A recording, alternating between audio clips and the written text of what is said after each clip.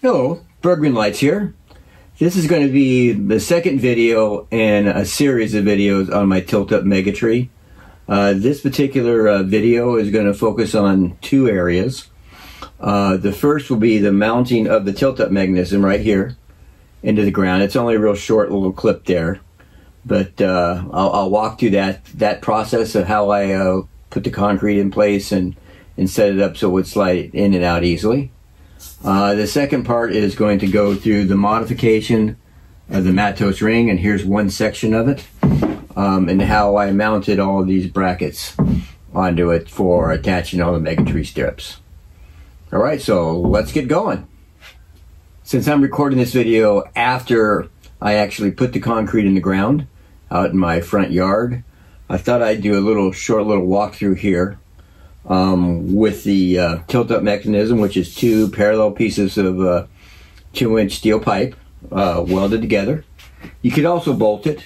The main thing is that they're they're parallel as close as you can get them to be. All right, and what I did is I took receiver hitch steel. Here's a one piece of it. It's pretty decent size that's left over. Um, and what I did is I put my hole in the ground and put the receiver steel over the edge on both both sections, set it up in the ground. All right, um, and then I laid everything out, leveled everything, and then I uh, put, poured the concrete around it, and was able to slide it in and out easily. So on the screen now, you see the tilt-up mechanism sitting in its receiver steel uh, with the uh, concrete already in place. So what I did to prepare before I poured that concrete is I took the two pieces of receiver steel, which was each were three foot long. Right, I dug a deep hole. I was actually standing down in it as I dug the hole, um, and then I put a little gravel on the bottom of that to make sure if any water could, would actually drain away and not build up inside the tube. Um, then I set the receiver steel two pieces in there and the tilt-up mechanism in the hole uh, I made sure it moved freely, moved it up and down, so when you pull the tilt-up mechanism up and out, the receiver steel stayed in place. There was a little bit of adjustment there to make sure would slide easily. You may actually need to use a little bit of WD-40 to make sure everything moves easily. Then I uh, trued it up, made sure it was straight up and down. And once I got that plumb, you'll see the two pieces of wood there on the screen where I've uh, taken that and attached it to the hinge point, that three quarter inch bolt on the top, and I staked it in place. And then I double checked to make sure everything was was true. And at that point, I poured my concrete and I let it let it cure. you also see with the concrete, I didn't come it all the way to the top level of the soil. What I did there, I left an inch, maybe two inches of room for soil to go over the top of it it's that so that way so we could plant uh, you know our annuals there in in the spring. So nobody could tell that a mega tree goes there in the off season. So that's how i kind of configured and set up the tilt up mechanism for its location in the in my yard. Right, next what i'm going to go do is i'm going to uh, go through the uh, configuration of the uh, the Mattos hoop so I'm in the shop configuring the bottom hoop. And what I've done is I've taken some one inch angle and I've cut a two inch long piece, put a hole to connect the uh, strip of lights to it. And I've taken a hole here, or put two holes actually, and bolted it to the Mattos uh, square ring. Uh, the spacing, I'm to have 32 strings of lights, and the spacing between them is about four and three quarters inches for an eight foot hoop. So I'm just going through and methodically cutting it. I set uh, my drill press up for these pieces of angle so that the distance between the holes are identical for each one. Uh, I just set up a little jig to do each one. Then I'm drilling it and I'm tapping into the square tube. And that way I can mix and match these things because I'm going to take these off and I'm going to end up painting them. But when I'm getting them all set, you can see the marks I've made for the center line of each of those pieces of angle. I spent some time lining up my drill bit to the the the uh, mark I made for the, the hole, I make sure it's centered on it. And I just simply turn on my drill press and drill the hole. Nice and slow. Three. There we go. So that was a slow speed on my drill press. It's a thin piece of metal, so it really doesn't heat up much, so it works really well. All right, so I'm using 5 16 inch grade 8 bolts. And here's my tap here. Um, it's a 5 16 18 uh, tap. And I just put it over the top of the hole. Keep it perpendicular to it. And just slowly turn it. If this was a harder metal, I'd probably put some uh, lubricant down on it. I'm just going nice and slow, cutting the threads.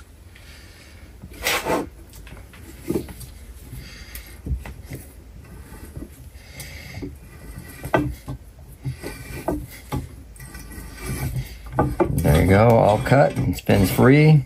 So I'm going to spin it out.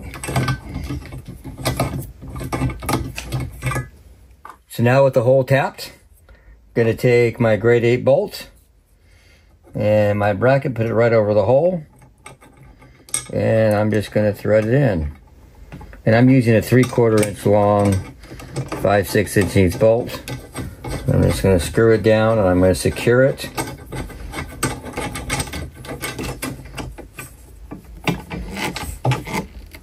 Okay, so I got it in there nice and tight. So now it's, it's locked into position.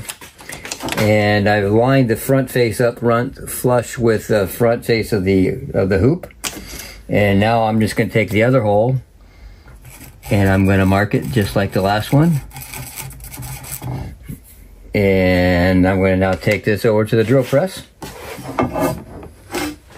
Now that I have the drill press, I'm going to spend some time and I'll show you what I did, did last time, but it's more critical on the second hole is I'm going to line up the bit, make look on both sides of it, make sure it's got equal spacing, and then I'm going to rotate the bit 90 degrees.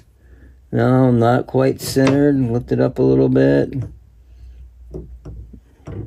That looks about right. What about the other direction? Looks good. So now I'm going to turn on the drill press.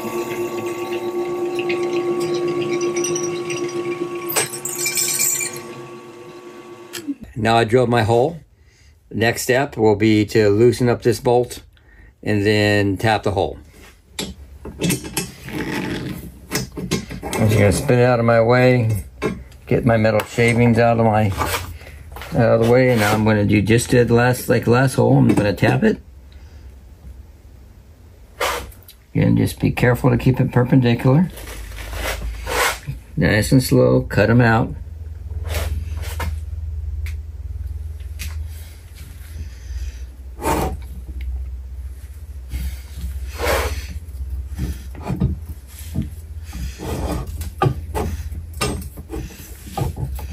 They're getting close. It's cutting threads, making them wider.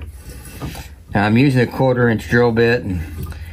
Um, the uh, standard for thin metal is a little bit larger drill bit, but I don't have that one that's like a letter size drill bit. I looked it up online on its size and I, oh, it's, it's an odd size.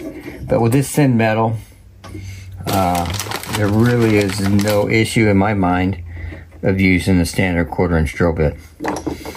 All right, now I just thread it in.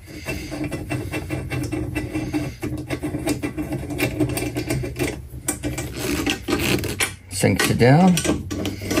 And the brackets uh, in place, won't rotate. You see I've done a bunch already. I just got a few more to do. I'm doing 32 of them. Once I get them all cut and installed, I'll be painting them and then reinstalling them. I made sure that the bolt spacing between each of the brackets is the same so I can mix and match them if they get out of order. So no matter which, each bracket will install on the holes that I'm drilling here for them so there won't be any issues of, you know, keeping track of which one goes where.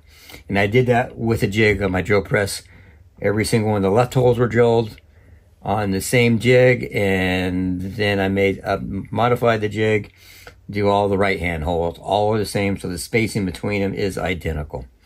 Well, I've uh, finished assembling and painting my bottom ring for my tilt-up Megatree pole. On the very end, to keep the uh, four and uh, seven eight spacing between each of the holes, I had to make a special bracket here on the end. Basically, I took two pieces of angle and welded those together. And then I bolted it to the bolted it to the ring and also to the bottom pole. Uh, the center attachment here, and that center pole has my winch. Again, that's a worm gear winch. That way, it doesn't come crashing down when I'm trying to lower it. It's slow. It's a little bit of a pain, but it's definitely much safer since I'm going to be underneath it as I'm cranking it up. And you'll see the rest of them here. You'll also see uh, I had to make a special bracket on this end as well. And I bolt that to the ring or to the post. And each of those, I had three posts. I bolted those to the dual post arrangement and made a, a receiver uh, hitch for the two inch uh, square tubing. And I have three of them obviously, and I put them in and I put a bolt in to hold it in position. So that wraps up how I put the uh, tilt-up mechanism in the ground and how I modified the Mattos hoop. Uh, I'll have a, at least one other video on the tilt-up mechanism here, my own design. So uh, I hope this helps somebody out there. You guys have a wonderful day.